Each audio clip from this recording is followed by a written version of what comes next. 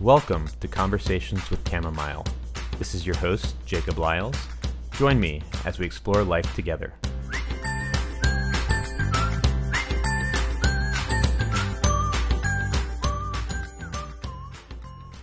Welcome back, everyone. Today I have a guest who is part of an illustrious company of people that is PhD in philosophy dropouts. I have another friend who's a dropout of a PhD program in philosophy, and he's a wonderful guy as well. Uh, Jon and I talk about his journey uh, through trying to find meaning in philosophy to ultimately figuring out that the only path forward in life for him was found in Christianity. Um, we also talk about various uh, ideas that Father Seraphim Rose uh, has about modern religion, especially the West's embrace of Eastern philosophy in modern times. Um, and Jon's very well versed in a lot of things. He's fascinating to talk to. I'll try to put some links on the YouTube channel uh, um, that skip to various parts of the conversation if you aren't so interested in the philosoph- philosophical discussion and want to hear more about uh, what he has to say about what he's discovered in Christianity. I, I think uh, all of it is very good, but I, I want to help you index into the conversation where you can. I might list some, list some clips out of this one because it was just very tasty.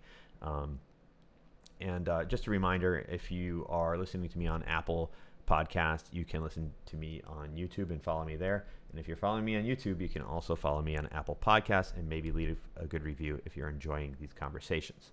Uh, so, without any further introduction, here is Jon Badiali. Well, welcome, Jon, to the podcast. Uh, just to let you know, uh, the name of the podcast, by the way, don't think I told you, is Conversations with Chamomile. Um, so, welcome to Conversations with Chamomile. Are you chamomile? Uh, yeah, I can be. It's a nickname, uh, but I also like the tea a lot. Uh, I don't have any made up right now, but I often oh, do, do, drink some. Um, would you mind? Uh, maybe we should start with uh, an introduction. Um, uh, you know who you are, what what you're interested in, um, stuff like that. Sure. Yeah, I'm a uh, currently I'm a you know I'm a software developer. I went to uh, I studied philosophy in school. Um, the long story short of that is uh, went to grad school, did that thing for a while, learned that it wasn't going where I wanted it to go, left, went into the real world, bounced around different jobs because, uh, you know, it's kind of hard to get a job related to uh, philosophy sort of in the job market. So bounced around until settling on uh, programming as a pragmatic thing. Um, and then never totally stopped reading or studying and writing and that sort of thing. Um, so I mean, in general, that's basically basically it. My focus in uh, school was on Heidegger, so that's sort of my strongest area. Though I studied was in the continental tradition, um, so I had to go through the history of philosophy and the ancients and stuff like that. So a fan, well, still kind of a fan of Aristotle and you know some other stuff along those lines. Oh, so that was a philosophy grad school uh, program that you dropped out. Of? Yeah, yeah, I made it through master's uh, program and then uh, didn't continue with the PhD because I by that time I became disillusioned and was like, you know, it's not worth it. My my uh, vague opinion about philosophy grad school is that getting slogging through to the end of the PhD is probably uh, the, the the the cost benefit calculation is, is is not great. Yeah, I knew a lot of PhD students who were my fellow students and saw what they went through, and I was like, you know, I don't, I don't know if this is worth, yeah, worth all that time. So, um, and, and so so this this series is on people making the journey to some religious faith as, as an adult, and um, so I'm, curious, like, how would you describe yourself spiritually at this moment? Um, I hesitate to. Uh, I say I, would, I guess I would say broadly Christian, but I don't have. Um, I don't want to say that because that means different things to different people. And since I'm not actually officially part of any church at this point, I don't want to make any claim to that. Uh, but yeah, I, I, I believe you know Jesus Christ is the Son of God, and uh, you know that sort of Nicene Creed at the basics. Also, I would say. so kind of uh, yeah, I, I think the uh, a lot of people there's different ways to dis- to define Christianity for sure, and like one of them, a very traditional way would be to say like, uh, can you recite the Nicene Creed uh, and agree with it, um, like without reservations. Um, so that kind of puts you, uh, from from my point of view, like it puts you kind of like in the center of uh, sort of standard Christianity. Uh, yeah, well, it depends on who you ask. Um, yeah. But uh, yeah, I, have been exploring a lot the uh, East-West schism and division. Mm. Um, oh, cool. Uh, so yeah, I, I, mean, I was raised Catholic, mm. Roman Catholic, uh, up to a point, and then dropped off and became, you know, a secular sort of semi-materialist until I got into Gnosticism, uh, mm. and then fortunately got out of that before yeah. it uh, destroyed my soul. Well, well, we'll we sh- we should definitely dive into that in a little bit of detail. For yeah, I you're not the first person that to really fall in love with. I think Gnosticism, maybe for the mystique of it. Um, my, myself, uh, I uh, I'm, I'm a three year Orthodox Christian now, so I, I uh, I'm sort of aware of the East West divide and and thinking and uh, perspective in a way that I think most people, most Christians that I'm surrounded by, don't really know that that's a thing. Uh, that there's such a strong difference in the in the flavor um, and approach uh, between the East and the West. Um, but I, I kind of fell in love with the East, so that's who I am. Um, and I was a I was a Buddhist before I was a Christian, so I think there's like some sort of bias towards like loving the East that I probably had. Uh, yeah, well, it seems uh, one of the distinctions seems to be that the, the West is much more intellectual than uh, the, the East is more, I guess, broadly spiritual, at least ascetic sort of oriented than the Roman Catholic Church, with its, you know, Aquinas being the uh, sort of one pinnacle theologians. Yeah, the the uh, there's like a way that that Catholics talk, which is strange to me, which is uh, they they like have a lot of definitions and like specificity in their faith, uh, whereas like I think the Eastern, the East likes to veil things a little more, uh, because uh, as a um, and like leave things undefined, uh, and, and that sort of reflects our relationship with the like the un, ultimately unknowable, ineffable God. Um, and uh, so, so there's there's definitely that people call the East a lot of times like mystical, um, and, and the West feels more philosophical. If I was going to put a like label on it, um, but we can get into that maybe some at the end. Let's uh, go ahead and jump into your story a bit. I, I want to know, uh, like, what was your spiritual upbringing like? How did you start off?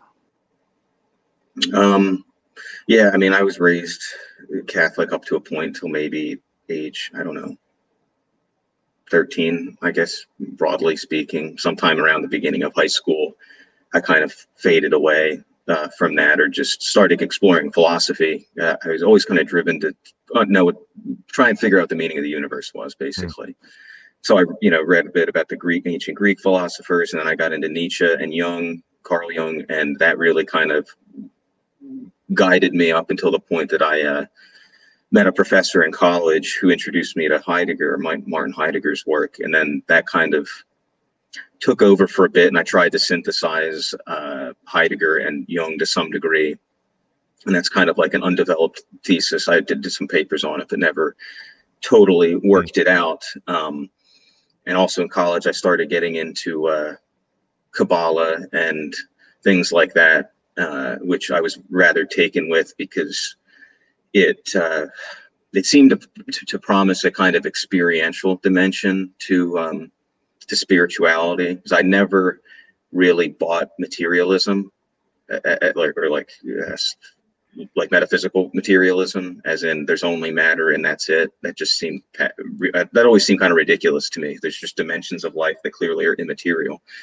Like human beings or conversations or logic things like that are you know clearly not material substances. And so i kind of uh that was guiding my thought to to a great degree. And i got into spinoza and stuff like this and pantheistic sort of ideas and kind of developed this i don't know broadly Gnostic, uh, pantheist type.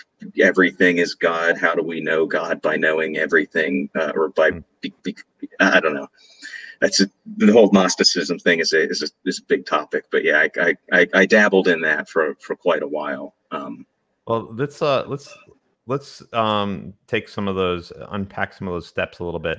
Um, so like when you were raised Catholic, did, did you go to were you catechized? Were you uh, brought to Catholic schools? Like what what level yeah. of Catholicism like were you presented with?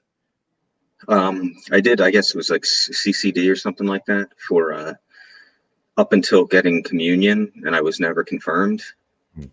So whatever level that that is, I don't know that I was fully catechized. Uh, I honestly I don't remember. I remember going to CCD and various things about that, and uh, yeah, taking communion and you know when I was very young, thinking, getting confused and asking asking my mom if the uh, the priest was God, and was told that it wasn't. The priest was not God, and uh, you know I don't know. That was a formative experience for me because I was like, oh, it's uh, God's not somebody I can meet at church hmm. or in my childish you know mind. Um, and so, uh, but yeah, that's that's about as far as I got was communion. Were, were your parents like seriously Catholic? Uh, one of them, yes. The other one, no, not so much. Okay. And so when you stopped going to mass, you said that was like in the teenage years, you kind of like fell away from that and started doing, uh, getting more into philosophy. Uh, and uh, like, what did your parents have thoughts about you like not going to mass anymore? Well, it started actually with us not none of us going to mass, but going to sort of like I guess Protestant type non-denominational churches um, after a big move uh, in our lives, uh, like physical, like different states sort of thing. Um, and so I don't know why that happened, and uh, that's certainly didn't uh, satisfy me uh, spiritually. Um, and then one of my parents just stopped going, or like one of my parents stopped going first, and then both of them stopped going, and then um, at some point I was given the option to go or not go, and I didn't go because I was a teenager and I, you know, knew better. Hmm. Um, so, so, yeah. So how are and at the same time you were getting into uh, philosophy and, and, in school? Yeah, well, not in school. I, I was a. Uh, yeah, I, I guess, I guess they don't teach philosophy in high school very much. You know. No. Uh, no, I, yeah, I kind of got in uh, into it on my own through uh, my father's library, where there's you know like Jung and Nietzsche were in there, and so I picked those up, and I got into uh, the Way of the Samurai with the Hagakure, um, and so I was like, and then Zen a little bit and that sort of thing. Uh, and yeah, I just did a lot of independent reading uh, in that direction. Sounds like you're a pretty uh, voracious reader. I was, yeah. Well, and still am, yeah. Yeah. Uh, what, what, kind of philosophy uh, kind of caught your interest the most? Uh, you, you, you mentioned you were always like on a quest to know the true nature of the universe or something like that, or the truth. Yeah, of the meaning of life. You know, that sort meaning of, of life. Uh, was that like on your mind as a teenager?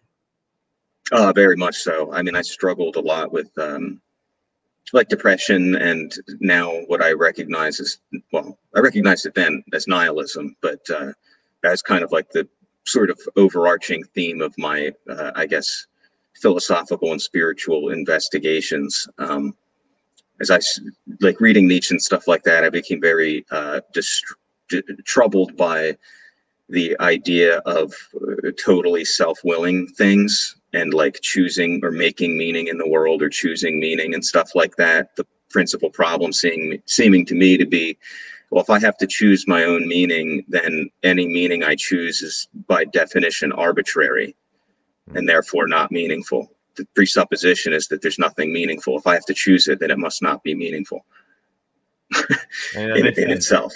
Um, it's interesting that like everyone I talked to that went through a nihilist phase like seems to have been really depressed at that time. Nihilism's pretty depressing, man. Yeah like there's there's like it's almost solipsistic right like you don't have a relationship to something outside of yourself um if you're like making your own meaning if that's if that's all there is yeah, and it's hard to even uh, relate to other people um, at a certain point. Because, so, like, what was nihilism something you were seriously struggling with as a teenager? Oh, for sure. Yeah. Um, wasn't helped by the fact that you know I was thinking about these things and n- nobody else around me was. You know, uh, like you know most people you know like getting drunk and doing stuff like that. Um, not that I didn't get pulled into some of that, but it, I wasn't able to just be like, oh, you know, let's go to party and that's that's what life is. You know, it's just a party and we're gonna yeah work and party, work and party. Um, and so uh, yeah, if you don't if you, if you, don't look too closely at it, maybe the uh, maybe the uh, existential crisis can uh, be put off for a while. It certainly can. Yeah. Um, so did did that nihilist phase like last you through high school, like to college, or uh, like w- when did it when did it end, or when did you find something that other than nihilism to be, uh, or when did you find something that would like replace the nihilism? I think um, ultimately it wasn't until very recently and uh, found my way back to Christianity. Um, the real actual endpoint of it. There was a temporary seeming reprieve in um, studying, uh, yeah, the, the well, like Kabbalah and then it sort of, and then German Romanticism broadly. Mm. This sort of, um, you know, like magic almost like there's there's some kind of spiritual realm or something beyond and there's inspiration and genius and whatever and i got pretty into like goethe and um hmm. uh, what do we call it vitalism i guess some stuff along those lines uh until i realized that that ultimately led to the same abyss or didn't actually solve the problem um because then uh, yeah i mean that's more more or less and i read I had a project that was kind of what I was originally going to do. And when I came on to indie thinkers of trying to figure out how to solve nihilism through like some kind of like creative work or something like that. But then comes the choice of, you know, well, what work do I choose? And there's this kind of uh, waiting for something to, to, to inspire you to, or to give you a direction. Because um, if that problem of, well, if I choose it, then it's arbitrary, I kind of can't choose it myself. It has to somehow be given. Hmm. And so then it becomes okay, well, where is it coming from? Uh, is that a tenet of like German romanticism that like there's some sort of like genius or some sort of mind, something that like comes to you? Like there's something transcendent, but it's it, it's like intuition or something. Yeah, like I'm not I'm, I'm not an expert on German Romanticism, and I'm kind of using that as a catch-all. Mm-hmm. Um, I'm most familiar with Nietzsche and Heidegger, uh, which people Heidegger probably wouldn't call himself a German Romantic, but I think that streak is strong in him, and it certainly is.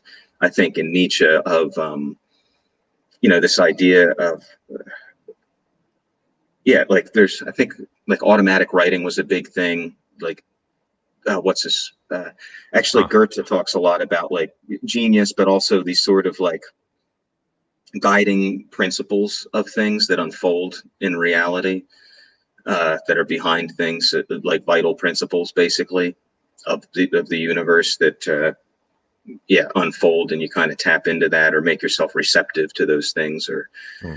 or or whatever. Um, and I've become very, very wary of that now after uh, my recent explorations. But uh, the sort of basic conclusion that I ran into is that humanity is not sufficient on its own to give itself a purpose, and so I was seeking down this sort of esoteric spiritualism sort of thing for some kind of uh, otherworldly thing to give that to, to, to me, basically. So, so you're like trying to tap into some sort of world, uh, some sort of spirit or sort of uh, energy of some sort. Um, like automatic writing, that's just like, is that just like writing without stop, like, uh, like uh, sort of intuitive writing? Um, My understanding is that it's almost like they probably wouldn't call it demonic possession, but it's something like where like you're writing, but it's not you writing. Like mm-hmm. you're kind of just your hand is taken over, so to speak, by something else that's not you. Um, was was Goethe a Christian?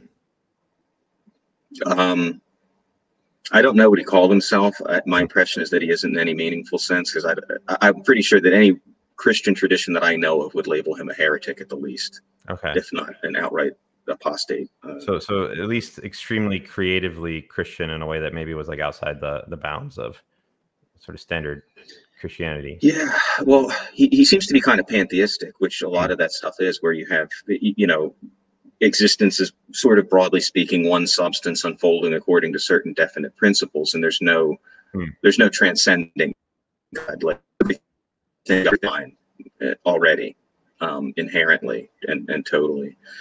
That sounds Um, really Hindu. Father Seraphim Rose, Orthodoxy and the Religion of the Future. Uh, Hmm.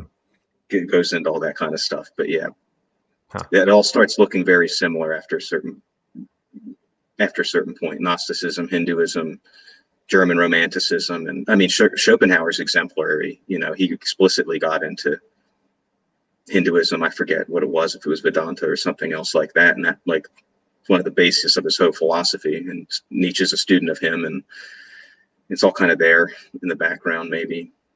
Okay, so you- mentioned kind of like three uh, three intellectual influences. Um, you mentioned uh, like there's like a pantheism, a Kabbalah, and uh, Heidegger. Uh, which one of those did you encounter first? Probably it was either Kabbalah or Heidegger. I encountered them both kind of at the same time, and I discovered Spinoza later. And Spinoza, when I say pantheism, I'm basically using Spinoza as my sort of point of reference. Spinozan pantheism, shall we say? Um, so the uh, Kabbalah and Heidegger. That's that's quite a brew. How did you uh, how did you react to those? Like when you when you encountered them? Well, I kind of had taken Heidegger as a starting point, so maybe I got to that first. Hmm. Um, and then Heidegger, like using Being and Time, really. Um, and Heidegger talks about uh, base, the sort of uh, state, or not, a, it's not a state, but uh, existential. Uh, maybe it's a mood. I think it's a mood or attunement or something like that. A resoluteness where you kind of come to yourself and you cease your inauthentic inauthentic way of being uh, and become like authentic and you know uh, in view of your own death basically um, and what i was thinking was okay well uh, you know kabbalah has this sort of systematic meditation that can supposedly lead you to the divine realms or whatever. And well that seems to be true or let me assume that it's true um, and then heidegger says this maybe you get to a state of resoluteness and you know affirming your death or something like that. And from there you can do the meditation. Like the meditation presupposes that you're like authentically present i guess um and not a wash or something like that. I that was my working thesis. I never really developed it but that's kind of where i was going Now, um, were, did you have anyone else that um, that was doing this kind of stuff with you? Like, did you have friends that were in Kabbalah, or is this like all individual, like you reading books and you uh, taking on these practices? Uh, it was pretty much me. I mean, I had a professor that was effectively a tutor on Heidegger, but not on um, Kabbalah. That was a pretty independent uh, sort of thing. Though I had friends around who were interested in, you know, uh, like shamanism and the other kind of spiritual or spiritistic sort of things, but not Kabbalah in particular. And uh, so, I don't know. In the I, I come from San Francisco. Whenever whenever anyone says shamanism, I, I hear psychedelia. Um, is it that, or is it more uh, like just primitive religion in general? Uh, both. Okay. Like shaman as witch doctor as pharmacon or, or pharmacist or whatever sort of thing. I see. Um, so how long did you uh, like pursue the this path of Heidegger plus Kabbalah? Uh, I kind of dropped off Kabbalah after I taught. co- Coincidentally, spoke to a Catholic priest, even though I wasn't didn't I didn't consider myself Christian at that time, but he was a uh, substantial Heidegger scholar, uh, to say the least. He's very um, well reputed, let's say. And so I spoke to him about Heidegger in particular, but I mentioned experiences I had had doing Kabbalah because I found, you know, like, oh, if I do these meditations, it actually did what it said it was going to do. Um, and I mentioned it to him, and he's coming from a Heideggerian perspective. He was basic. He basically said, "Well, that's escapism, and what you need to do is be here, like Hmm. in this, you know, present in this reality, not to escaping to some otherworldly reality." And I was like, okay, that's that makes sense. I get that. So I just kind of dropped it off, uh, and my thinking went along more of it, it the um, sort of yeah, the sort of Goethe type line of uh, Goethe and other. Uh, sorry, it's been a little little while. The sort of I had studied Paul Klee actually for a bit, um, and he talks about making the invisible visible. And so I started going down that, and it's like, okay, well, how can I make invisible things visible things? How can I communicate the inner principles of things of nature in particular? Uh, the invisible things, things that aren't knowable through empirical science, but only through, I guess, like an intuitive vision or something like that. Um, and so I kind of let Kabbalah go from like some like meditation sort of thing to a rather, I don't know, attempt at some kind of artistic vision or something like that. So there's um there, there seems to be a thread of like wanting to have uh direct experience or participatory knowing of truth um, like because you're you're taking on you're not just reading books or like analytical philosophy, but you're you're also getting into like meditation and artistic endeavors and like an attempt to know or participate in the the, the truth that you're looking for. Yeah, definitely. I mean, I was kind of uh, under the hypothesis, I guess, that art could be a way of knowing, basically, hmm. in contrast to science and in some sense, I think that's still kind of true in a in a basic sense of learning a skill grants you a kind of knowledge of the world that's not given by a sort of uh, detached um, experimental method. If you learn how to build a house, you know there's knowledge in that that's not available through just experimentation. It's just a different kind of knowledge. But I was thinking of art as a way of like scientific knowledge. You're trying to put those two things together. It's con- contemplative knowledge. Art is a way of contem- contemplative knowledge, I guess. Hmm.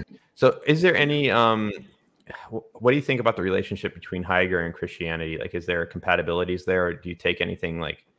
Do you still take anything with you uh, from Heidegger, or uh, or is that like something you've? Um, ac- yeah, I'm actively struggling with that actually. Um, because initially I thought there was. I read some papers. I found about how Heidegger, on, on the one hand, was Catholic for a time, then became Lutheran, and then just anti-Christianity in general. Um, but his apparently his some of his early works or early thoughts were definitely influenced by the Christian idea of, of the human person, but he goes beyond it, and it's there's some things that are that are crossovers. It almost feels at, at times like he's trying to reconstruct or redetermine human existence in without the Christian categories or without particularly without sin and without God.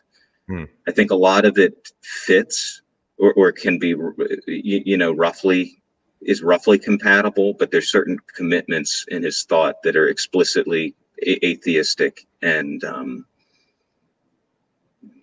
I would say nihilistic, but also, you know, he really doesn't want to have sin. Like he has this idea of fallenness um, as a category of human existence, uh, where you could be authentic or inauthentic, and you fall away from your authenticity or not, um, as a kind of like erring or whatever. And mm-hmm. you know, people you know, Christians might be familiar with the idea of sin as amartia in the Greek, you know, it's missing the mark or whatever.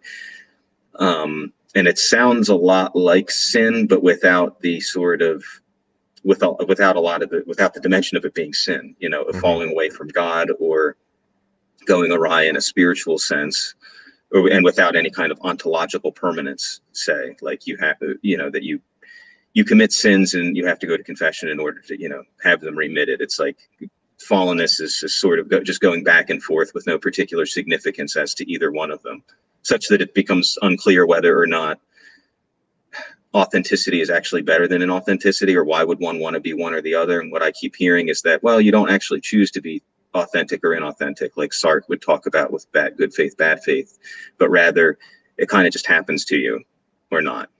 Hmm. yeah and if it's just happening to you it's not really clear why you should care about that particular distinction at not, all. no it's not clear. Yeah, yeah. I mean, speaking from like a modern, uh, contemporary um, culture, like you know, the idea of authenticity is held in high regard um, as having more being more lively or having more flavor or being more enjoyable or certainly having higher social status, like to be authentic. Um, but I don't know if that's like the same kind of authenticity that Heidegger's. No, really that is very about. different. I, I would think that what passes for authenticity now would count as inauthenticity in Heideggerian terms in most cases, I would think. Fascinating. Um, so, uh, so you have this Heideggerian foundation. You go through this Kabbalah phase, uh, and and uh, th- then we come to like pan- pantheism. Like, what what did that phase of your life? How did you try to enact pantheism? Um, well, I guess it, I don't know if I tried to enact it so much. Well, I guess I kind of did. So I discovered Spinoza, I guess, in grad school, um, and really and read Spinoza's Ethics and found it to be to essentially solve the mind-body problem. Basically, like he kind of neatly solves that issue by just saying, you, you know, God is one substance, and mind and body are two attributes of one substance. Hmm. Basically, and you can kind of look at them under different aspects and. Uh, So the mind body problem is just how the mind and the body relate because like mind is phenomena and body is matter. Well, it's it's almost as if it's both. It's just both, or like body and mind are just two ways of looking at the same thing. Effectively, so, uh, more that's not exactly correct, but roughly speaking. Um, so I, I, there's a word for this in modern usage, like of like brain, uh, like brain versus consciousness, uh, where they're Mm. kind of just taken as the same. Yeah, I think sometimes people talk about like dualism or you know my, my or it's like consciousness as being I, i'm familiar that like the, the study of like what is consciousness and like people having different opinions on that is is a different is like a branch of philosophy right? So some people say consciousness is separate from from the brain uh, like those are two different things. Others say like consciousness is doesn't isn't actually there um although uh you know it's the brain is all there is. Um and then other people would say that consciousness is primary and like we only know the brain through our conscious experience of people telling us about the brain or us poking at a brain. Um so uh, I, i'm kind of familiar with like these philosophical questions but not in any sort of professional way Yeah, I mean those are real real questions that people ask that kind of Mhm. fall out of Cartesianism uh, or Descartes, the Cartesian dualism, and I think it, what Spinoza, why Spinoza appealed to me is because it seemed to me to resolve that issue by basically saying there's not two substances, there's not a mind substance and a body substance or consciousness and matter. There's just one substance, which is everything, which is God, and it's experienced in different ways and it's there's god has infinite attributes and it's infinite everything basically forever and in that sense it's kind of actually like hinduism and that's where that sort of parallel comes in where there's some ultimate ineffable unknowable infinite everything that Mhm. one participates in some finite finite amount or in some finite way at any given time uh, such that insofar as uh, reality is God or everything is is is God, not not not the true God in my estimation, but uh, everybody's divine because everybody's part of you know this divine substance basically. yeah So, so you get to have your cake and eat it too. You don't have to do anything. You're just born God already. yeah there's nothing to do you just have to realize how awesome you are in the first place and it's kind of like it reminds me a lot of like the the you know i was kind of in the neo hippie culture in the bay area for a while and uh, around a lot of psychedelia and there's this feeling of uh, probably the dominant this is probably the dominant spiritual paradigm that people use like all is one um, you're perfect already um, there's nothing you need to do um, just realize you just need to realize that there's nothing you need to realize um, and uh, be at peace. Um, and uh, I, I, I, just suppose that uh, I never could really believe it, and uh, and I found it not to be a satisfying um, solution, and I didn't like the people that were satisfied with it. Um, so that, that was kind of, but I, I, think a lot of that influence. I'm not sure if it's coming from Spinoza as much as it is coming from the East more. Um, or or like the Hindu mentality, uh, probably. Yeah, I, I don't know if it's. Uh, I mean, I think in modern culture, Spinoza didn't have that much of an influence directly. Um, well, Nietzsche apparently in a, one of his letters says that re, when he discovers Spinoza, he says, "Oh, I had a predecessor. I didn't realize." You know, hmm. so there's some kind of connection there, which I think that's a topic for another day. But I think the sort of underlying thoughts are the same, even if they didn't originate in the same physical space. Say, like it did. Spinoza didn't come out of India, and as far as I know, he didn't study Hinduism, but he reaches a somewhat similar con- conclusion.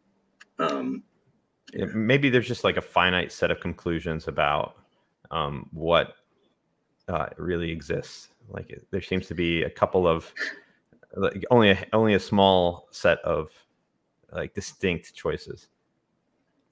I mean, I I kind of I'm starting to think there's just two choices. There's uh, knowledge or faith, um, where the common element between Spinoza and say Hinduism is that, and or Buddhism for that matter, is that the the difference between like being in a good way or a bad way is is knowledge or your own awareness of your of your situation and you know and the eastern stuff you deconstruct your desires or learn to uh, set them aside and then you can know the ultimate infinite whatever. Whereas in spinoza it's actually kind of similar. He has a whole thing in the ethics about uh, the passions and how to attain freedom uh, from the from the passions. And by doing that you realize the ultimate substance basically and become it's effectively like your your will becomes uh, one with god but god's not a person mm. uh, sort of thing it's like you, you it's kind of it's kind of weird it's a little bit different but the sort of uh, salient thing is knowledge through some kind of rational more or less means or gnosis. And this is, I mean, that's my understanding. That's the sort of thing with Gnosticism is you attain the good, ultimate good reality by realizing that this one's, you know, an illusion or something like that. You learn, you learn something. It's through some kind of enlightenment. Mm-hmm. Okay. So, um, what was it like to be a pantheist? Why? Yeah. Oh, it's well, it's great until you realize it's empty. Um, mm because you can do whatever you want and you know it's about uh, it's ultimately hedonism i mean i think that's the, the natural end conclusion of it uh, where it's about feeling feeling good and feeling at one with the universe and whatever. And if drugs help you with that great but that's unreliable. So then you have to practice you know so that you can always feel like this is the best of all possible times you know and i'm in sync with the universe and uh, whatever. And you get a high feeling you know but um it's not ultimately spiritually satisfying, I don't think, and it doesn't mesh very well with everyday life. And uh, you know, when you have to go to a job that you that you don't like, or you know, or that's pretty miserable, um, it doesn't really help with that at all. Uh, it might even exacerbate it because then you're like, oh, but I know that there's all this stuff that's way more meaningful than this, but I have to go work this stupid, crappy job. This is all lies and illusion, which is itself kind of partially true, but it doesn't really give you any kind of way to deal with that other than just waiting till the weekend or whatever to go escape into you know divine land or whatever. Hmm. yeah so, so it, it, sounds like it's not very good at like coping with suffering. No it's not.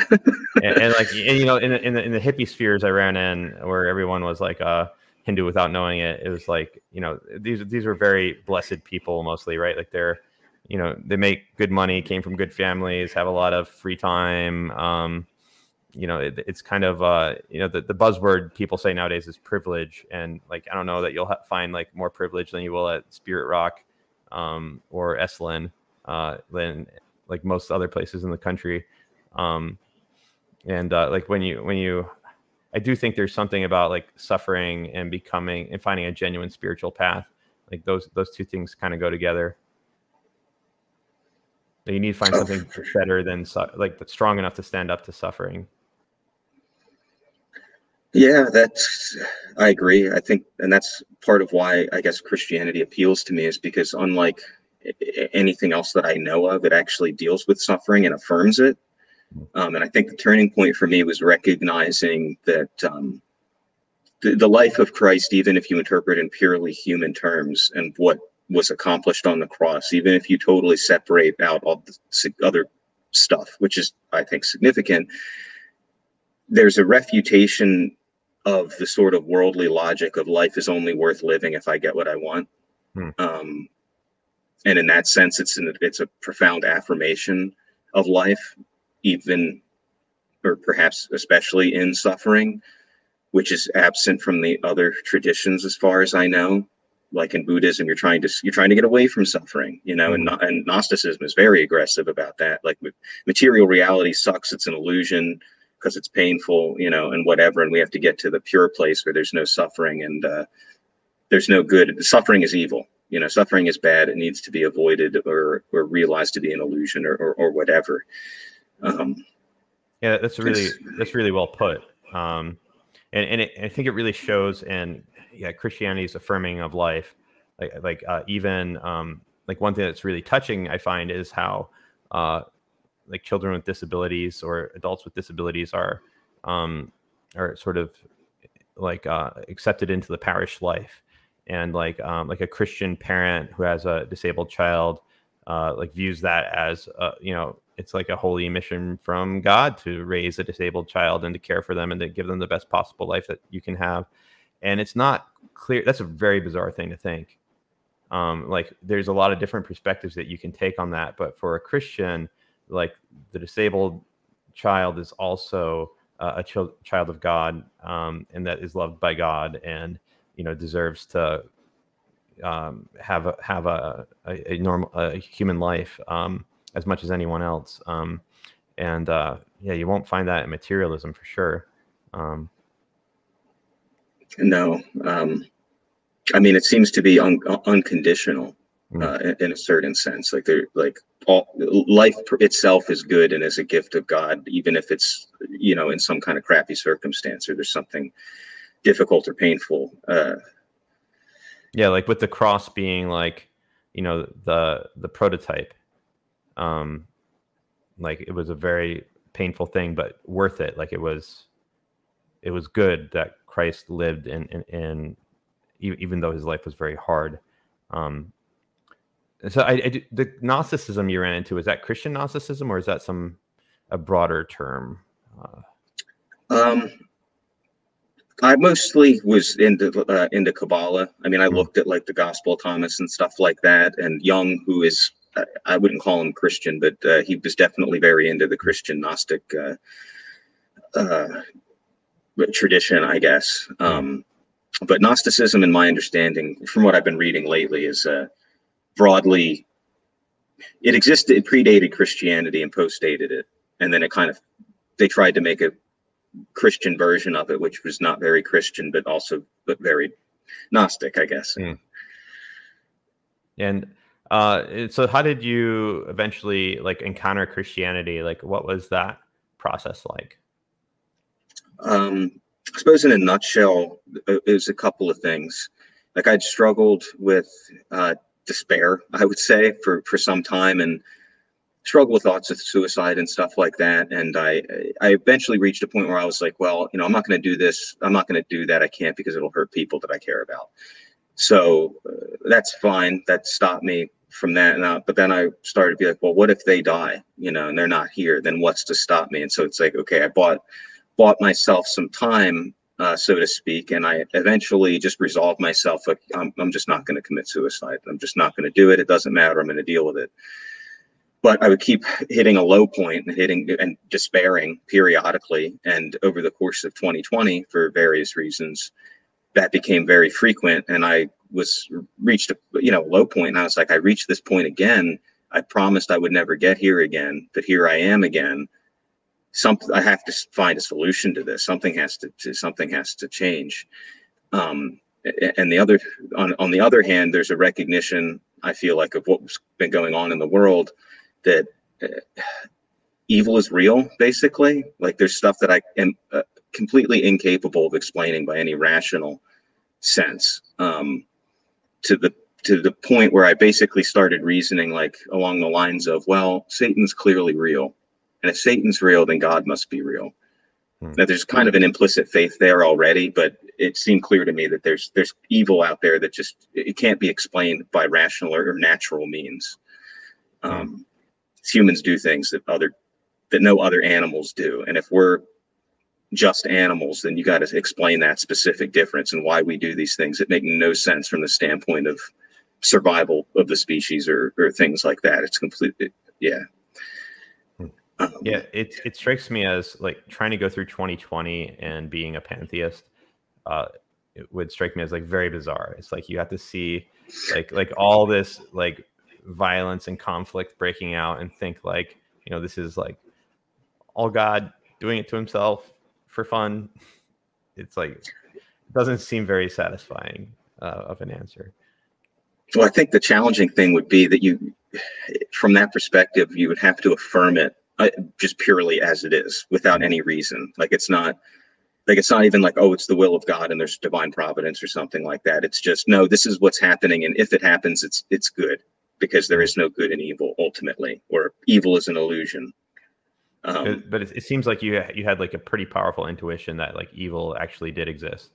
Um yeah there's certain things that i can't accept. It's like there's no way that and if it if going beyond good and evil requires me to accept certain things as acceptable, then I, I can't do that. And I will be a, you know, a, be a moralist or whatever you want to call somebody who, you know, yeah, it's, asserts it's that there's that there is good and evil. It's almost, um, yeah, it's almost uh, not cool to believe in good and evil, but that's not quite right. Like I think our world um, actually is kind of like the post-Christian world is shaped by Christianity in a way that it's, it's not quite nihilist. Uh, it does believe in good and evil, just sometimes a distorted version of it.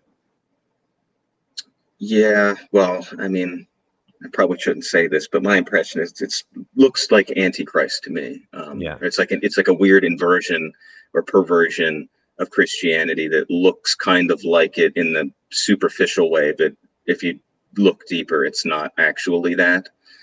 Um, and it seems like Christian the Christianity seems to be one of the only things that has any kind of fixed sense of good and evil hmm. at all. Like these other things either get rid of it or collapse them or go beyond good and evil, such that it, it, it's either an illusion or it's both or something like that, rather than no, there is good and evil, and it, this is what good is, this is what evil is, and that's it. Hmm. There doesn't seem to be much else like that that I've found. Certainly not that's in the public consciousness, anyways. Well, so yeah, it, I guess it turns out that like beliefs have consequences too. It's like if, if people yeah. stop believing in good and evil, then like, the world changes. Like it's a very different world. Um, which you also see, uh, which I saw in the Bay Area hippie scene too, like people really exploiting each other. Um, like people that were very into the deconstruction of good and evil and all those rejecting the traditional ideas, like just taking advantage of each other in various painful ways. Um, uh, yeah, ideas have consequences, but I would say that I think the um, all the Abrahamic religions have a concept of good and evil. Oh, uh, it, it is a it is a lineage, but and maybe just those. Like, I don't know that. Yeah, I mean, certainly, um, from what I know, like the pagan um, pre-Christian, uh, you know, Greek and Roman religions, like I don't think they had an idea of good and evil. They had an idea of like good and bad, like being good at something. Like you know, you didn't want to be weak, you didn't want to lose a battle, but there, maybe not be dishonorable. Um, maybe yeah, was like a code of like, honor, um, but but there wasn't really the strong sense that like, uh, like the reason why you didn't want to offend the gods is because they might punish you, not because there was any sort of like intrinsic evil um, yeah, and what is good, what is punishable or not punishable depends on which god you're serving at it at the given time, and the gods didn't always agree with each other. So, it, I mean, it does seem like you had some sort of sense of faith that like life was worth living at least. Like you, even before you were coming to explicit Christianity, you're deciding that you're just not going to kill yourself, and then, um, and then finding and, and then looking for reasons to like or, looking for what what what supports you in that yeah pretty pretty much um i mean probably one of the darkest times i had was this sort of you know existential sense that it's rational to kill yourself you know, or it's better to like it's the say, say, uh, Seder wisdom of um, like the like Pan or the God, God Pan. Uh, Nietzsche talks about it in Birth of Tragedy, where you know it's better to better to not be born at all, and if you are born, better to die quickly. Hmm. Basically, like a sort of you know ref, refusing to accept life effectively, um, and feeling that oh well, that makes sense. If nothing means anything and there's no meaning in suffering, uh, then you know whether or not life's worth living depends on how much you're suffering and if you suffer enough then yeah it becomes totally rational to kill yourself because nothing means anything and it doesn't matter if i live or die you know?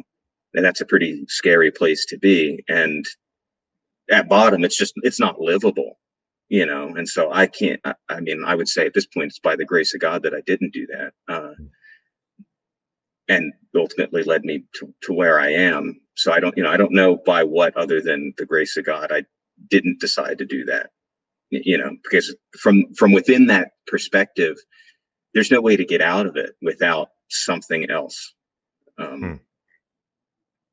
I mean, and that's kind of, I think, a very rational description of the human, uh, of human life in general is um, like there has to be something reaching him from without to provide meaning or provide order, some way to orient yourself. Otherwise, it is all kind of arbitrary.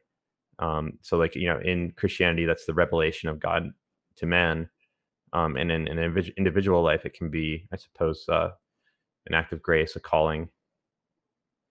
Um, now, uh, how did you come across Christianity and decide that that was the path that you wanted to go, or that that that was the right answer to the the place or the right response to the place that you found yourself in?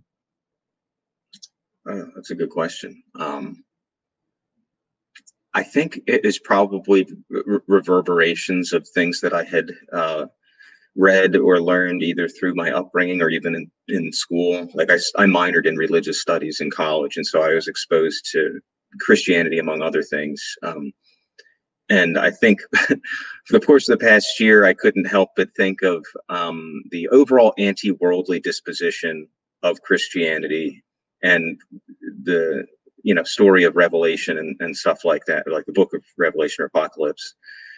And seeing the patterns i guess and like oh well this pattern matches. This is what the world is. And i i got pretty deep into a lot of um let, let's say uh not mainstream materials i guess in looking at like well, how what is this going on? Because i can't what people are saying they care about and what they're doing are not lining up. So what are what's actually behind this? How can I understand what the motives are and try and you know reverse engineer, so to speak, or understand why these things are happening? And uh, through that process, it came became, I guess, somewhat clear to me that this is a worldly disposition and rests on the assumption that this world is all that there is, basically. Um, and getting yours in this life is the ultimate aim of life and that's how this stuff is all operating. And I, I, think i just kind of started to intuit that that's not right and that christianity has always kind of rejected that idea. Um, and i also was reading uh, william blake at the time and uh, oddly enough for his sort of Gnosticish or not or mystical, whatever. He, I mean, he has like the marriage of heaven and hell and uh, proverbs of hell and stuff like that. And like I was reading that, and I was like, oh, this is this is appealing, and I, it's accurate insofar as that like that stuff is definitely consistent with what uh, the demons would say. But I didn't think about it like that. I was just like, oh, you know, let me try this out. This is some mystic stuff, you know. Um, he has something what it's, called the everlasting gospel and he has like an account of jesus there which is in its own way kind of true um, in uh, he basically characterizes christ as rejecting rejecting the world fully and i forget the, the line or the couplet or whatever off the top of my head. Oh it's um humble toward god haughty, haughty towards man something like that and that I, that resonated with me, I guess, and so that kind of uh, I don't know gave me a something of a soft spot for uh, for Christ, which I always I mean I never really rejected Christ. I kind of rejected organized religion, or that's how I conceived of it to myself. Um, and so Christ seems to be the sort of paradigmatic rejection of the world. Um, and Nietzsche says as much. He just says it's bad, basically. And I was pretty steeped in Nietzsche, so so Christianity was always kind of like swirling around there in in, the back, even if it was a something to to be rejected. Um, and that kind of fits the fits the pattern of well it's christianity versus the world and that's the story that it, that it always has been and even if you talk to the nihilists it's the same thing you know christianity is not in line with this worldly goals we can't have communism right or whatever if we have christianity you can't have fascism if you have christianity it's incompatible with all these sort of worldly utopian visions um, hmm. so it almost seems like i don't i don't know where else i would have gotten to uh, other than that. But yeah, so so I guess when you eliminate all the other possibilities as being some some some uh, permutation of uh, this worldliness, um, you're you're sort of left with um, you have to have some orientation towards the transcendent God. Um, like it, it's either God or like you were saying, meaning meaninglessness, like self-reference. Um, and uh, so so uh I guess Christianity was there a particular like moment where, where you thought like I am a Christian now or I'm or like yes this makes sense or something like that like yeah. was, was there was there a road to Damascus moment uh uh or... there was actually yeah okay. uh, it was a uh, subtle well not or not so subtle like i like i said i was reading blake you know i would read before i go to bed and um i have a dual edition of like the complete poetry of William Blake and John Donne, with the, that also included sermons of John Donne. And hmm. um, he was a minister uh, in his later life, apparently. Um, after, if I recall correctly, don't quote me on this. Like you know, he was a he was a more of a poet when he was younger, and then I guess got married, settled down, and was ordained at some point. Um, later on and then that's what he was for the rest of his life something along those lines. I don't know if he stopped writing poetry, but it definitely changed in character, I think. But in any case, I, I had stumbled randomly opened to a page of one of his sermons, and I was like, oh, you know, let me read this.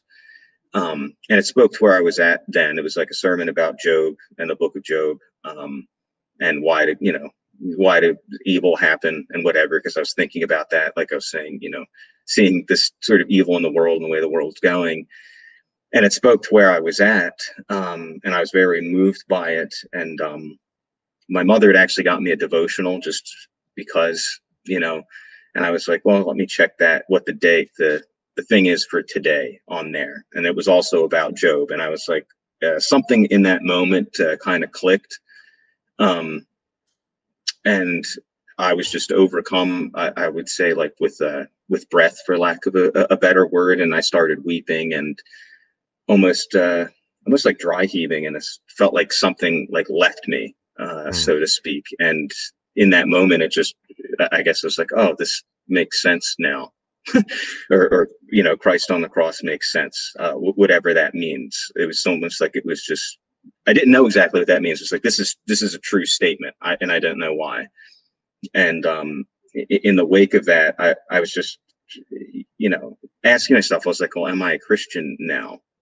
like that's what it seems like just happened but i don't understand it and then from there then i started to get more serious about understanding what had happened um, and what christianity is and that was that's a another longer story um, but in retrospect after this event happened i recalled a thought that i had had almost subconsciously a couple days before where i had like sort of mused to myself like if i were going to convert to christianity how would i do it because I did was like, oh, you know, I'm not gonna, I don't like organized stuff or whatever, and that's what I was thinking. And um, now I almost wonder like if that was a kind of prayer that was answered without me explicitly doing it, that or thinking that I was praying.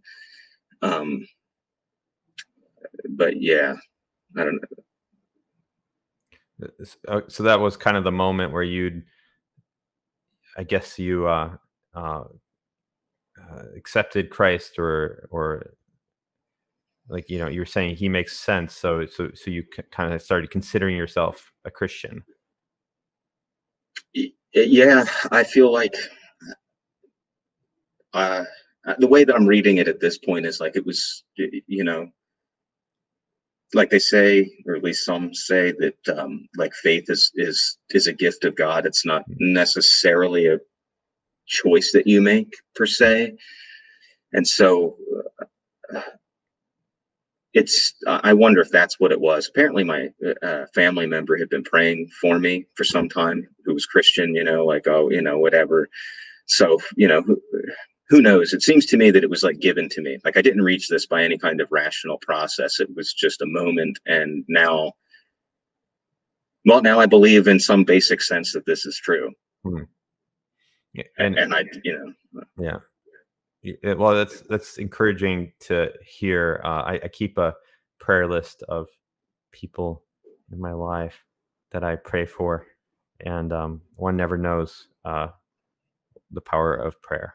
Um, uh, but it also seems like this, you know, Christianity for you is a bit of a gift in that, like, you were trained in the basic tenets of it growing up and have been sort of around it, uh, at least in, at least in somewhat um, unusual forms, maybe through some of these philosophers and artists that you were into. I mean, John Donne, I think, is more of a mainstream Christian. Uh, I think he was uh, he has belonged to some sort of uh, normal denomination, if I'm not mistaken. Um, yeah. Whereas William Blake was more uh, he's kind of uh, colors outside the lines a little bit. Um, yeah. Yeah. Uh, uh, so, I mean, how have you um, been trying to live into your Christianity uh, since since that experience? Um, mostly doing a lot of reading. Um, I uh, I don't even remember how, but I started. Uh, I, I, came upon Orthodoxy or Eastern Orthodoxy or whatever you want to call it, um, and uh, uh, maybe I like. I think I'm. I started by just like looking at different things that I didn't know. Being raised Catholic, I looked at some of the you know like what's Lutheranism, what are the kind of uh, main Protestant things, and I had you know heard of Orthodoxy, so I was like, well, what is that? And I started reading about it, and then I was like, oh, well, this fits my expectation for what I had always expected Christianity to be. And through experience, felt like Catholicism, Roman Catholicism wasn't, um, uh, particularly in that sort of intellectual disposition of Catholicism and trying to rationally know things that seem to be unknowable. It's my philosophical background. I basically came to the conclusion, which I think is correct, that one cannot know God rationally and the attempt to do that is going to lead you to um, a tough a tough spot. And i think it ultimately leads a lot of people into atheism. If you start with the assumption that you can know god rationally and then discover that you can't then you conclude that god doesn't exist. Hmm. but i that never made sense to me. And part of the whole trip down gnosticism is was the sort of on the intuition that if there is some kind of divine spiritual something, you're not going to know it through a rational argument. It has to be through some kind of experience or revelation or, or something like that, but not through through reason. And that seems to be something that orthodoxy uh, generally uh, has, or the the that or well, the admission that you can't know God ultimately, but um, what is known as um, not through a rational, dis- discursive, philosophical sort of sort of process, and the, the way that you know that interprets um, the Holy Spirit and stuff like that resonated a lot more with me and made a lot more sense. Um, and as I read more and more into it, it just yeah, it, for a number of reasons, it just uh, struck me as much much closer to what uh, I guess I was looking for. You said you've you've read Seraphim Rose.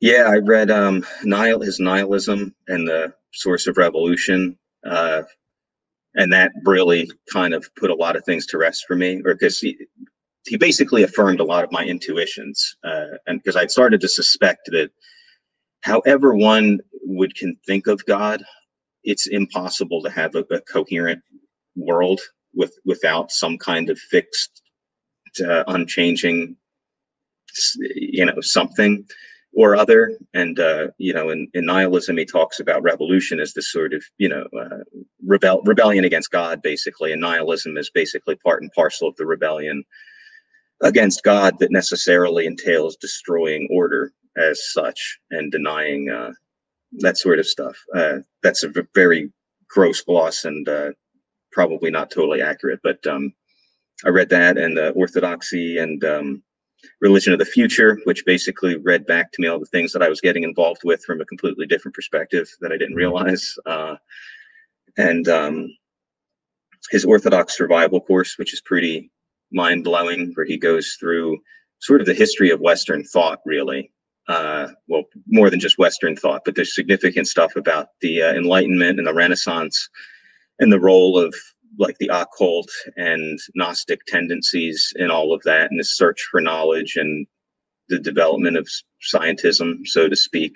This idea that we can uh, know our way into salvation if we just get more perfect knowledge and recreate the universe according to ourselves and all kinds of stuff uh, stuff like that which was very mind-blowing and it connected a lot of dots that i was never able to put together from a purely from my philosophical education some of this stuff never quite made sense to me as a project like the enlightenment project um, say didn't make sense it makes a lot more sense seeing it in the context or of um, uh, I guess a bigger spiritual sort of conflict than just as oh well you know we discovered that rationality is cool and we can like do whatever. There's a lot of presuppositions built into there that we don't get taught even in philosophy school. Um, hmm.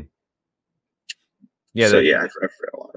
That's uh that's that's fascinating. I haven't read any uh, Seraphim Rose myself. He just has a reputation, um, you know, in the community. I've read some other things, but uh, I, I think well, he speaks for to the he speaks to this time. You know, he mm. was uh, my understand. I think I he was a student of Alan Watts. Yeah, and an active practicing Hindu. So he like you know he had firsthand experience of this stuff, and he speaks about it. You know, in an informed, competent, and very precise way, not in a sort of um, like bombastic, oh no, here come the big bad evil mad magicians and Harry Potter sort of thing. It's like no, here's here's what this is in, in its own terms, and here's what it is from the standpoint of orthodoxy, and here's why it all fits fits together. Yeah, I think I'm ready for him now. I don't think I was before. Like I think I still had like too much attachment to my previous Buddhism. Um, so like I didn't want to read someone that might be critical of it. But as I've come to understand, like as much good as I think there is in Buddhism, like its fundamental worldview is not pointing towards the good. Um, like if I can say that out loud, um, like that that you know ultimately we shouldn't be striving for non-existence. Like it doesn't. That's not.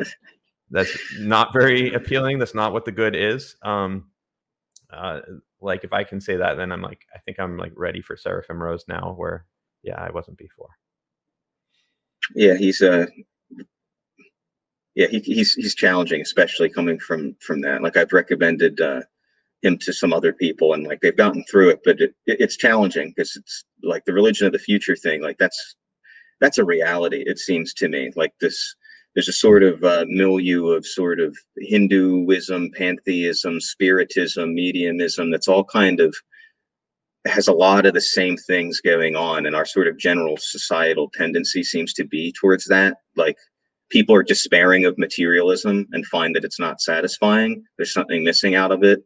And so they're like oh i need some kind of spirituality and then they go into to to this set of um, uh, this sort of uh, yeah conglomeration of of related ideas basically on the assumption that that you know god is dead and christianity doesn't work hmm. everybody this is a foregone conclusion and i didn't realize how much it was so for me until i started thinking about it more seriously like oh well god is dead obviously god is hmm. dead we all know that Nietzsche said it. It must be true, you know, and you don't think about it anymore. Yeah, if Nietzsche said it, it must be true. Pretty much, you know. He said it, it, is, it, it is a background assumption, and and I think like that's what this podcast right now is about. Is like, what if we question our assumptions, question everything, you know, which back in the '80s meant like throw away your parents' religion, but like today it might mean um, question uh, the assumption that you should throw out God. Um, like, what if he was important? Uh, what if we need him to live any sort of a decent life? Um, what if he's not dead? Yeah. What if, what if, what if there is a true and living God? Um, by the name of Jesus. Uh, that could be true. Uh, how does that change your life? And is and if you try that on, like, do you like it better? Um, I mean, I, I think a, a, lot of people find like nihilism ultimately unsatisfying. Uh, for me, I think uh, you know the pantheistic stuff was an escapism. Um, didn't really help. Uh, it didn't feel true. Um, I don't think I'm one with everything. I think I'm deeply interconnected with everything, but that's not the same thing as being one with everything. Um, and uh, like I think there is a me. Um, so like in Christianity or in the in the Orthodox idea, there's like a deep communion with God is possible, and and that's the um and that's the the the the, the goal of, of humanity is to to know God as intimately as we as we can, which is completely in everything but His essence uh, through grace. But um, but there is always that separation. I'm always me, and God is always God, and I'm very grateful for that. I wouldn't want it any other way. You eliminate that distinction, and I mean, you're just left in hell uh, or solipsism, or uh, and it's it, doesn't make sense anymore to me. Uh, that's my take on things. Um, yeah, yeah, it doesn't. It, well, that's the kind of terrifying thing I think about um, the sort of like transcendental meditation, Eastern religion sort of thing of like dissolution, and um, there's a there's a real wager going on there because uh, if you don't believe that there's you know heaven and hell basically if you don't believe in that um and there and that it's just nothing i don't know that's not very compelling like you're just trying to die in, in some sense assuming that death is just not existing uh whatever that means but if on the other hand there is a spiritual reality and death true death isn't just like bodily death but something else then it becomes uh, it becomes a much bigger issue, um, I guess. And I think that the inability of pantheism to deal with that, or really to just kind of cover it over, because having fooled around with that stuff, I had distinct experiences, especially at like concerts and stuff like this, especially at jam band type concerts, of this feeling of things are superficially different, like they're playing different notes and the songs are changing, but it's the same thing going on endlessly. And at a certain point, in one particular show, I, I was just like, I, I want to leave. This is just the same thing over and over again. It's just party. And party is like one substance that's just mm. continuous and non-differentiated. And then mm. I, you know, I get sick of it. And it's like, well, thank God I'm still alive and I can just walk out the door and go somewhere else and do something else. But what if I had to be locked in here for this jam band show for all eternity? That was, you know, listening to effectively the same thing in infinite variations for forever. And it feels really hollow and empty. And it's a visceral feeling of like, oh my gosh, I feel sick. I need to go look at some trees or something. Like this is terrible. Um, and in retrospect, that's seen, I'm starting to think that that's what death is, or like that's like in a certain sense a foretaste of what hell might be. And I don't know because I'm I obviously don't have the spiritual discernment to be able to do that to make that assessment. But um, actually, on the first time I went to uh, an Orthodox church, afterwards, after the service, I walked out and nothing happened consciously. I didn't know. I walked out and everything was cal- like calm and peaceful but in a sort of detached way that I had never experienced before. Um, and I, man, I feel terrible because I had actually finally managed to articulate what this, what this was, uh, in better words. Um, so for, for, yeah, forgive me for that. But, uh, I had a sense of permanence in that while at the same time the world around me felt, uh, impermanent and it was very bittersweet of like oh this is this is mm. good but temporary but i feel fixed and everything feels like there's an order to it and it i what stuck out to me is how it contrasted with that experience it, mm. or threw it into a stark relief of okay well i'm at this concert and it's the same sort of thing cycling over and over and over again forever just kind of churning effectively and then i had this in contrast, a feeling of like just being fixed and the world around me, you know, changing, but ultimately being um, still still having a sense of uh, having internally a sense of permanence. It's very, it's kind of difficult to describe, but it was like very different sort of feeling of I feel fixed within a world of change versus I'm just being churned about in this sort of endless um, cycle or something like that. Yeah, it's really profound to think about that contrast. Um, because like at the liturgy every Sunday, like we do do the same thing every Sunday, but somehow like that feels good. Whereas going to your your like 13th jam band concert of the year feels hollow or like it stops satisfying. Um, and like what's the difference there between why does why do I go to liturgy every week and feel good about it? Um, but like for me, the jam band equivalent is something like yeah, party as this undifferentiated substance. Uh, it was probably like Burning Man. Um, it's like you know, I mean, I'm not that excited to go to Burning Man ever again. I mean, I'm not saying I, I like completely reject all parties, but in general, like parties are not satisfying. Party is no longer satisfying to me. And like, what's the difference there? And it's something to do with like God or not God, and like maybe anything experienced eternally, like when you're imagining eternal jam band, like that being hell. And I think anything experienced eternally other than God uh, would be hell. Um, that's yeah, that's my impression. Um, hmm. it seems well. The, one of the things with the liturgy, in contrast to say a jam band, is that everything in it has has meaning, and it's you know there's this definite structure and, and form to it that is uh, you know ever consistent. And every if you remove any of the elements, it changes the whole. Whereas at you know a jam band concert,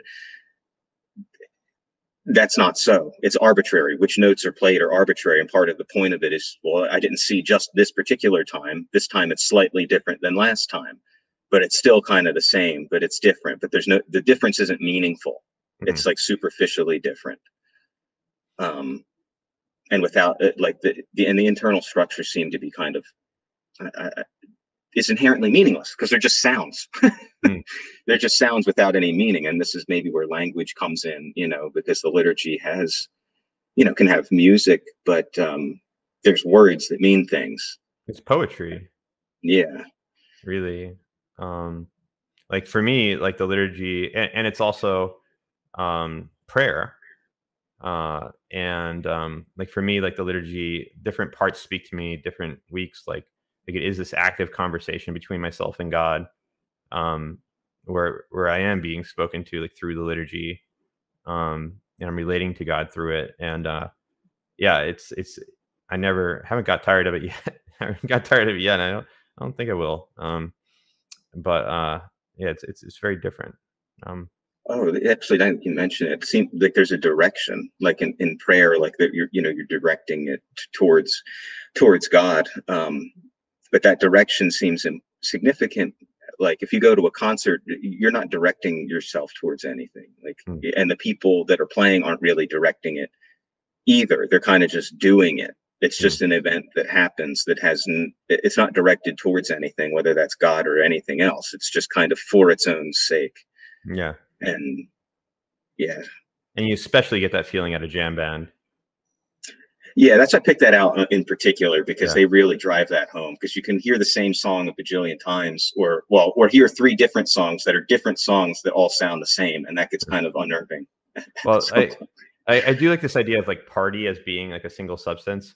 And I think it's like when you get tired of party, that is certainly like I saw um, I was 35 when I, I, I broke up with a, a long-term girlfriend and like I was seeing like guys who are 45 and 50 like at these parties like trying to pick up chicks.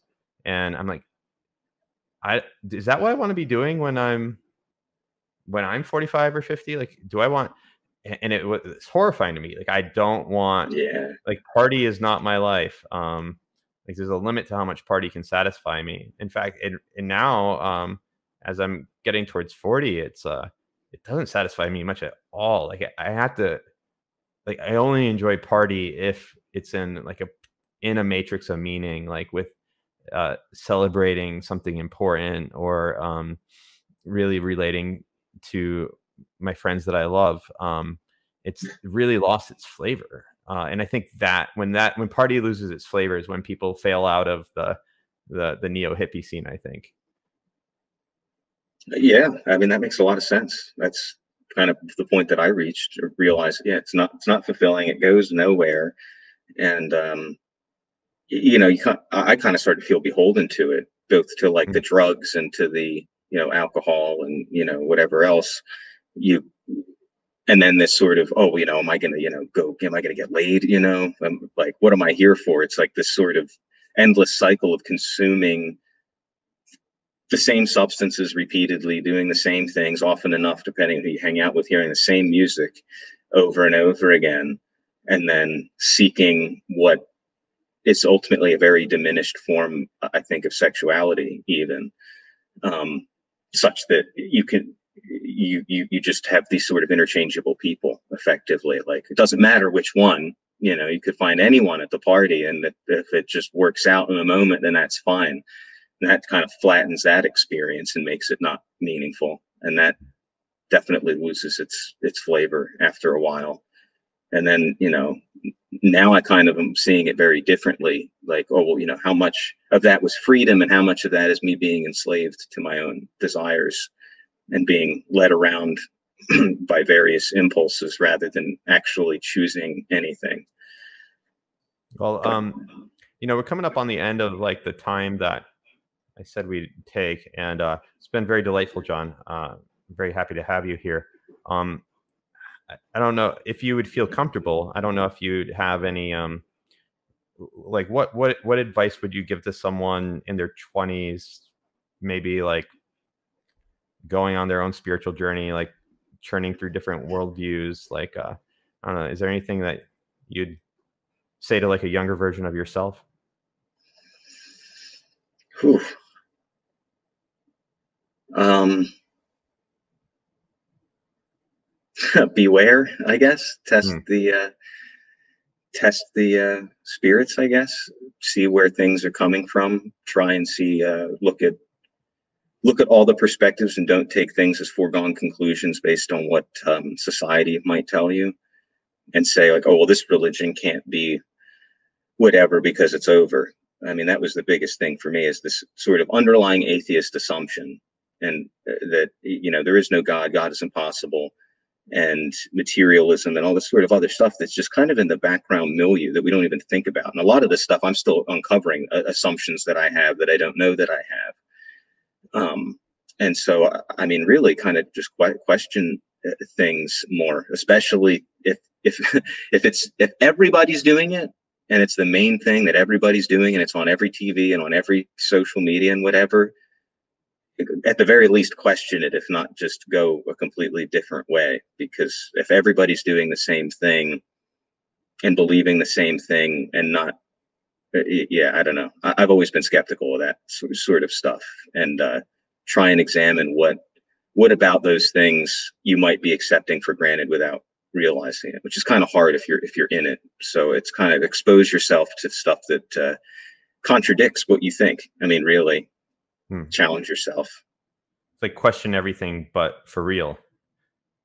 Yeah, actually, yeah, yeah. Like actually, take breaks take breaks. Don't question everything all the time because that leads to despair. But uh, you have a cup of tea sometimes. Yeah, and see your friends and family. And uh, well, uh, let's let's call it there, Jon. I appreciate your time. It's a great conversation. I hope people enjoy this, and thanks for coming. Yeah, thanks for having me.